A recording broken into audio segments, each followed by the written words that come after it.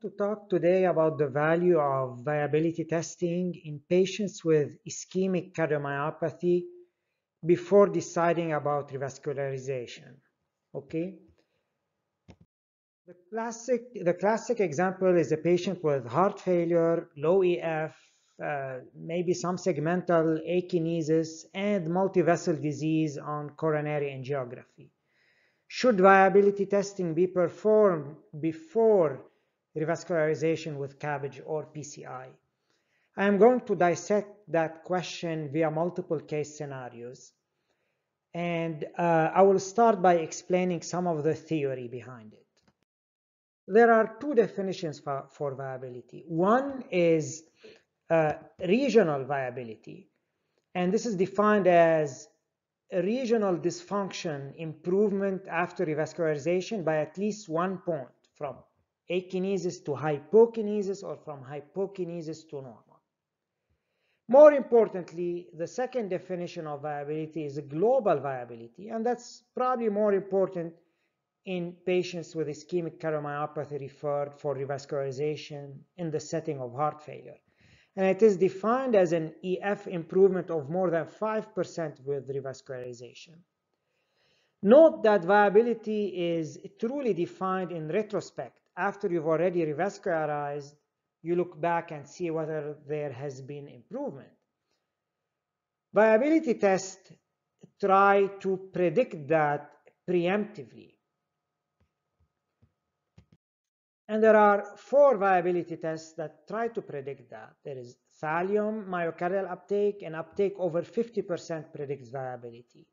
Low dose dobutamine echocardiography, PET scan, and cardiac MRI. Cardiac MRI is considered the highest yield test overall, um, and it can detect scar thickness uh, of the dysfunctional myocardium scar thickness less than 25% is very highly predictive of viability, whereas scar thickness over 50% is highly predictive of non-viability.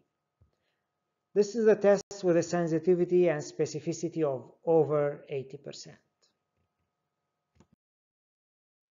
Those four testing modalities uh, can define segmental regional viability of each uh, coronary territory, but they can also define global viability, which is more difficult to define. Global viability, viability has been defined variably depending on the trials.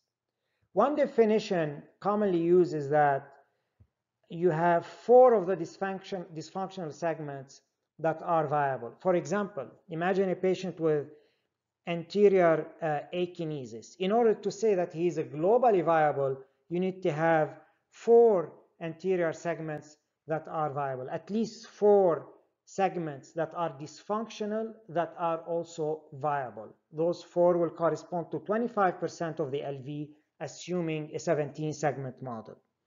Alternatively, global viability can be defined as a viability of over 65 to 70% of the whole myocardium, including functional and dysfunctional segments. And this, this is what has been used in the STICH trial. I will use a case to explain the concept. A 69-year-old man with no known cardiac history presents with decompensated HF. He does not have exertional chest pain. EKG shows anterior Q waves and echo shows anteroapical dyskinesis with EF of 25%. Coronary angiography shows a totally occluded LAD and severe RCA disease. Beside medical therapy, what is the best revascularization option? A, revascularization does not improve outcomes at this point, so no revascularization is needed. B, revascularize with CABG without further testing. C, perform viability testing with MRI. Perform CABG if the anterior wall is viable. D, perform viability testing with MRI. Perform CABG if four segments of the anterior or apical wall are deemed viable. Basically, D is providing a more specific answer than C. The answer to that question is B. Perform CABG without any viability testing. This is based on two major trials. One, most importantly, is a STICH trial uh, viability substudy. which was published in the New England Journal of Medicine. And the other one is PARR-2 trial published in JACC. In both those trials, lack of viability does, did not attenuate post-CABG benefit. Importantly, this particular patient here has Q waves, but Q waves were not, did not exclude the potential benefit from CABG and were not an exclusion criterion from the latter trials. I will describe the main STICH trial. STICH trial randomized patients with ischemic cardiomyopathy and EF less than 35% to CABG versus medical therapy. Most of these patients had a three vessel disease, often with proximal LAD disease and a prior history of MI. Importantly, this trial excluded patients with severe angina and advanced class 4 HF and mainly consisted of patients with low EF, no or mild angina, and mild heart failure. Patients were not excluded based on viability testing. And uh, half of the patients underwent viability testing uh, and uh, were substratified depending on the presence or absence of viability. At five years, CABG was associated with a strong trend towards mortality reduction uh, by 1.5% per year, which became significant at 10 years. It also was associated with a significant reduction of each of the following endpoints, cardiovascular mortality and hospitalization for heart failure or cardiovascular causes. Note that the benefit of CABG was not dramatic you know, the reduction of mortality was from 8% to 6.5% per year. Uh, but you can expect that this benefit to be more pronounced in patients with a higher absolute mortality.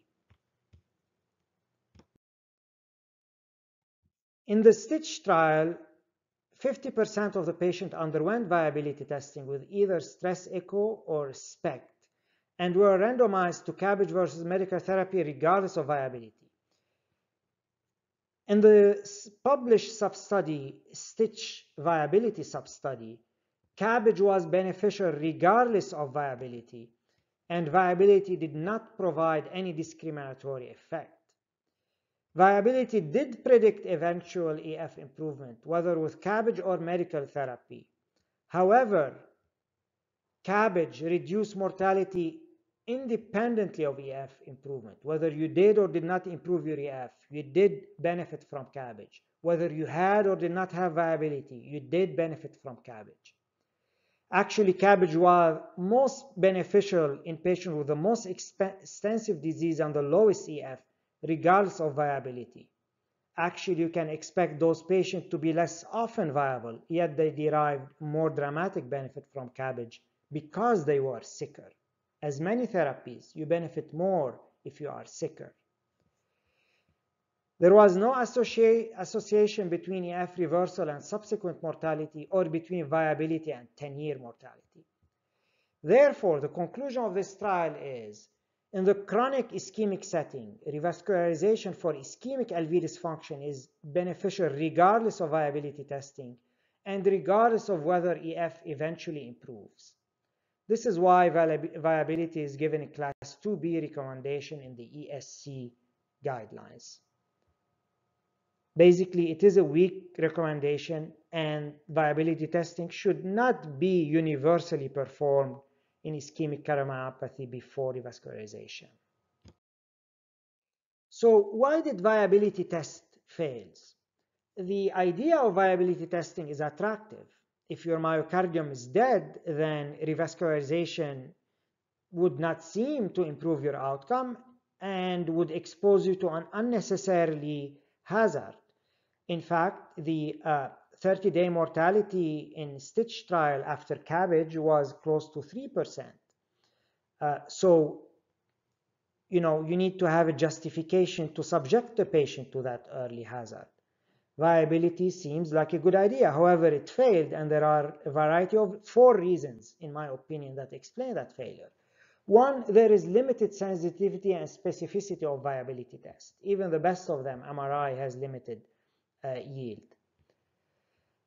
More importantly, number two, viability is not a yes or no answer. We say that you know patients are either viable or not. That's how it's often that's how the report is often formulated.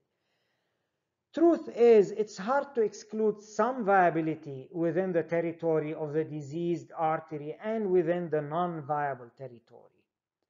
For example, the apex may not be viable, but the anterolateral wall is viable. Hence, revascularization of the LAD is still warranted. So the viability testing can be confusing. It can tell you the apex is non-viable, and for some, it may seem that, okay, the LAD territory is non-viable. But there are shades of gray, and there is extent, territorial extent of non-viability and viability that can dictate management. So it's more tricky than a yes or no answer. Even more importantly, the, the third reason is that even without any viability and any contractile and EF improvement, revascularization improves symptom status, heart failure, and mortality. And how does this happen if you don't have viability? This happens because revascularization may improve LV adverse remodeling. It reduces further LV dilatation, further deterioration of LV function, and may reduce the risk of further MI and further deterioration of LV. It may also preserve the infarct border zone integrity and reduce VT arising from that border zone. A fourth idea, also those, also it's an idea that uh, arises that arises from the STICH uh, viability study. The benefit from CABG may be highest in the sickest patient, such as those with limited viability. In fact, a STICH analysis has shown that patients with the most severe ischemic cardiomyopathy derive the most benefit from CABG, up to 50% mortality reduction, rather than the around 25% uh, in the general population. So that's an important idea. This was defined as a combination of two of, of two of the following three factors, three vessel disease, low EF less than 25%, and dilated more significantly dilated uh, LV. And those are more likely to be associated with some degree of non-viability in some territories.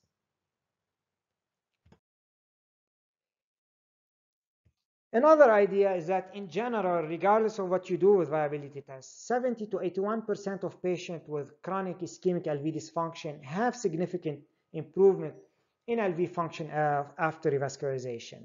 This number was 81% in STICH trial.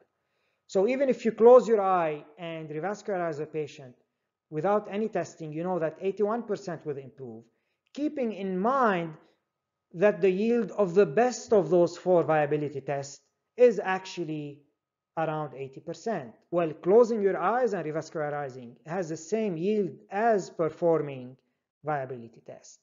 And that's another limitation of those tests. Therefore, this is a summary slide. Viability should not be used to decide whether to revascularize or not heart failure with reduced EF with multi-vessel disease. Lack of viability does not negate the value of global revascularization, and those patients generally are best treated with revascularization. However, however, there is some value to viability testing. Viability testing may be used to guide the specific of segmental revascularization, not to exclude the overall revascularization, but to guide the specifics.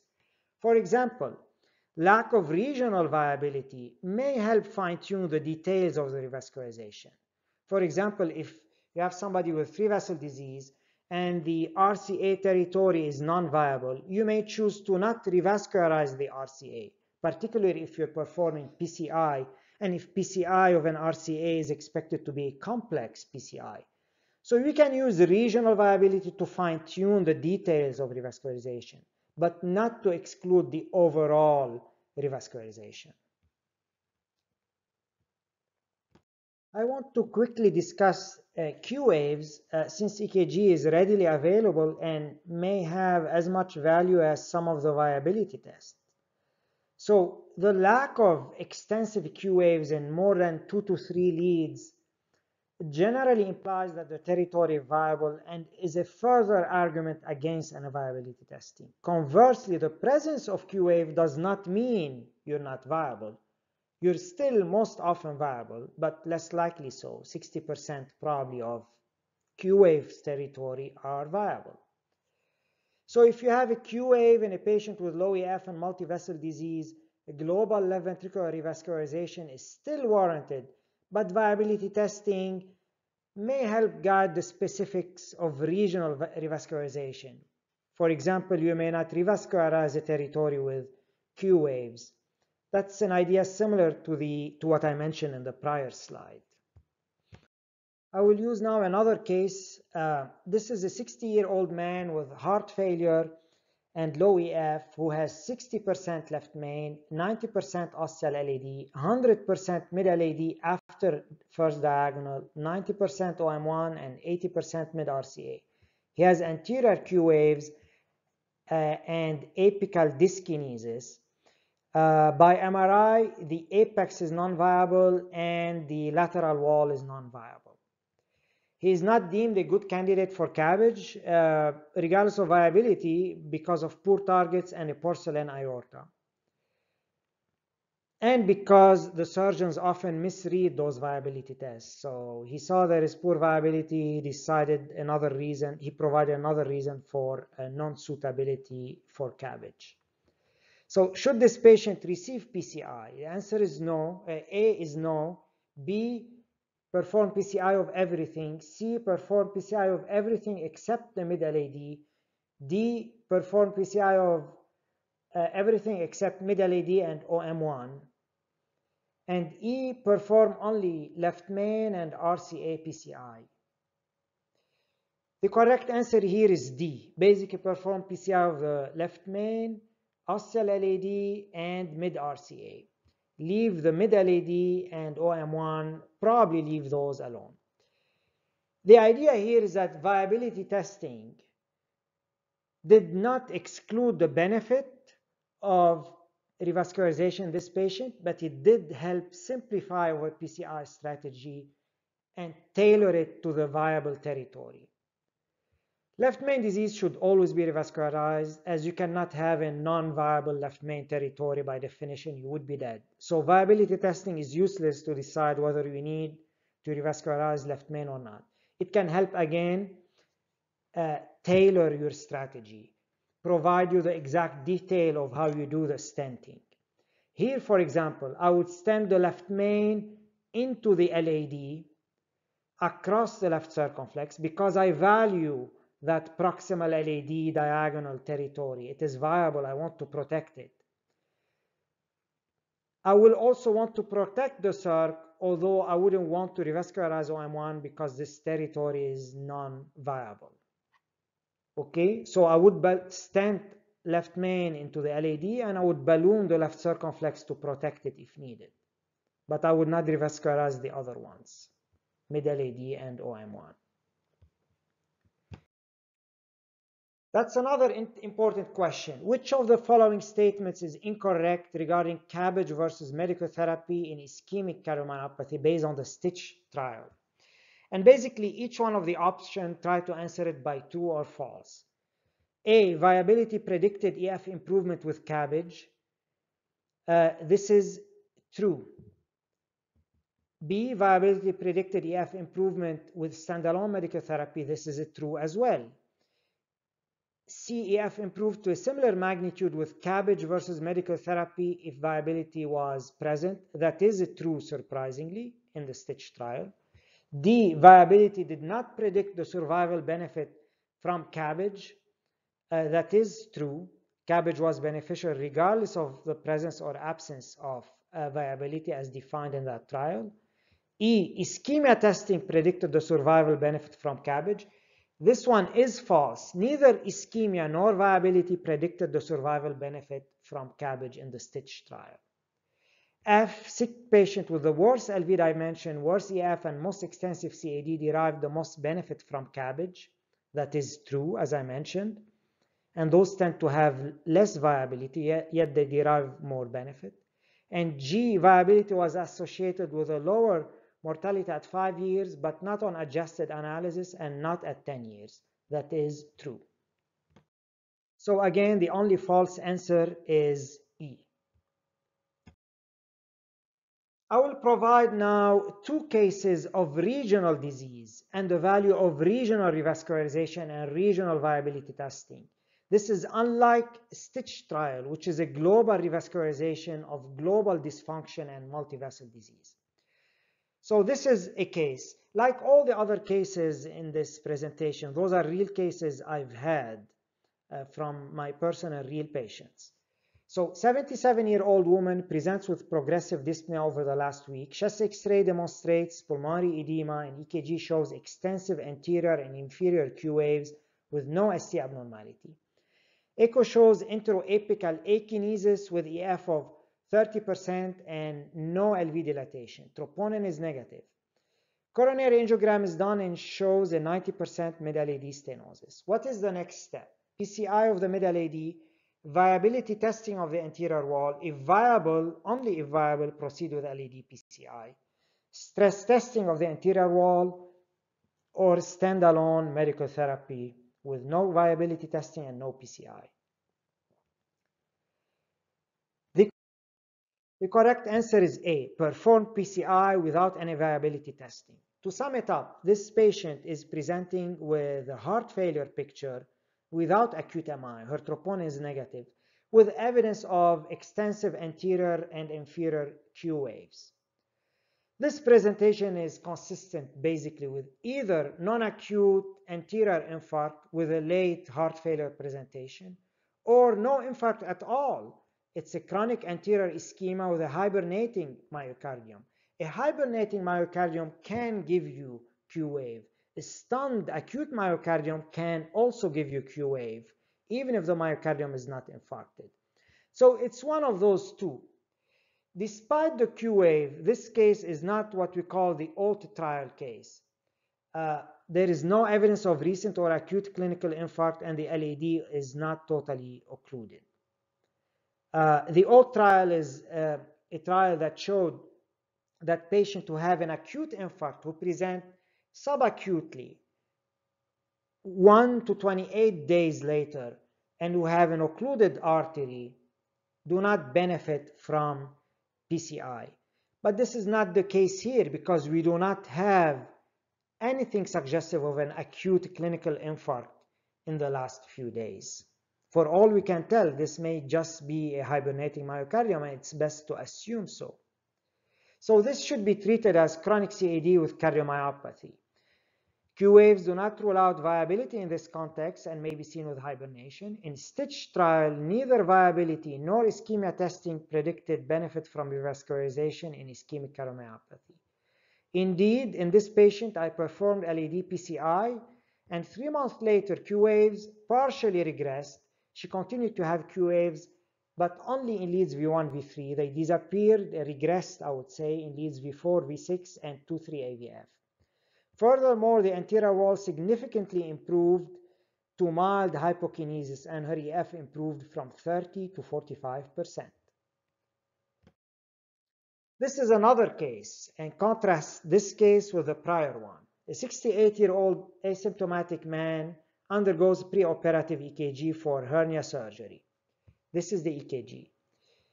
This EKG shows extensive Q waves. You can see here QS waves in V2, um, V2, V3, V4, and V5 with actually ST elevation and T inversion, uh, suggestive of a dyskinetic anterior wall. Despite that, he's very active, bikes several miles a day without dyspnea or chest pain, no angina, no heart failure. Echo shows anteroapical dyskinesis with an EF of 25%, consistent with this EKG. Coronary angiography shows 100% proximal LAD total occlusion with bridging collateral and no other disease. So single vessel proximal LAD CTO. His LVDP is 10, further attesting to the fact he has no heart failure. What is the next step? PCI of the proximal LAD, viability testing, followed by PCI of the LAD if the anterior wall is viable, or standalone medical therapy. The correct answer here is C. Contrast this case with the previous question. This patient has no heart failure. He's not a STICH trial patient because again, no heart failure. and he has single vessel CAD, a CTO that is not easily amenable to PCI. Unlike the prior case where the patient had heart failure and she had single vessel CAD that was easily amenable to PCI, not a CTO, which is a complex form of PCI associated with up to three times higher complication rate depending on the specifics of that CTO. This particular patient uh, with no heart failure and with single vessel complex disease has a treatment indication that is similar to the, to the indication of treating stable CAD. This indication being severe angina. This is not the case here. He does not have severe angina, therefore he does not have an indication to revascularize that CTO of the LAD. PCI of a CTO should not be performed for the purpose, for the sole purpose of EF improvement. PCI has not improved the EF or wall motion in the CTO trials, explore and revasc trials. So CTO PCI in this setting is only performed to improve angina, which he doesn't have, not to improve EF. Again, this is not a STICH trial, not a heart failure patient, not a multivessel disease patient. This is more a stable CAD patient and you treat it as such. Now I would make the plot thicken here. What if he had angina? In this case, I would revascularize the LAD with no viability testing. I would treat it as a stable CAD with CTO. If he has severe angina, I would perform a complex PCI. Now, what if he has significant Heart failure, would you revascularize that LAD for the purpose of heart failure improvement? This would be close to STICH trial, but it's not really a STICH trial patient because unlike STICH, this is a single vessel disease, not a global LV dysfunction with a global multivessel disease. And unlike the prior case with uh, single vessel LAD disease and heart failure, this patient has a complex LAD disease with a difficult high-risk PCI. So actually, if he has significant HF, I would perform a regional viability testing for regional LAD assessment and regional PCI of the LAD if viable. This is actually a case, an uncommon case, and the only case I've presented so far where viability testing remains useful. I hope this presentation uh, has been helpful to you and thank you for listening.